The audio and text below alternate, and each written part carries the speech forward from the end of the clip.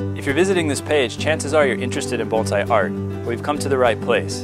I'm a bonsai professional, instructor, and owner of BjornBjorholm.com, and I've spent nearly the last decade living and working in Japan as both a bonsai professional and an apprentice, and I would like to provide you with the information that I've learned here in Japan in both text and video format so that you can feel more comfortable in growing, creating, and maintaining your very own bonsai art. Please feel free to comment or post your questions below any of the videos or shoot them to me privately via email.